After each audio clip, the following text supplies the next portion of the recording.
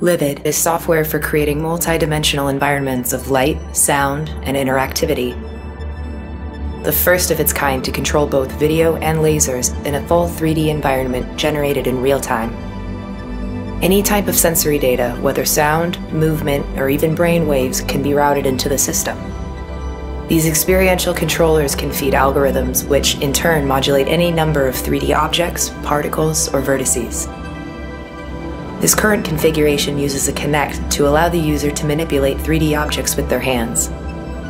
The next iteration of Livid will enable the user to modulate virtual spaces and interact with elastic digital membranes.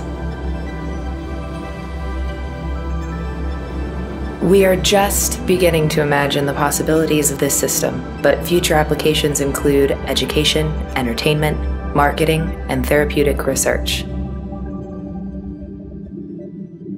Epic FX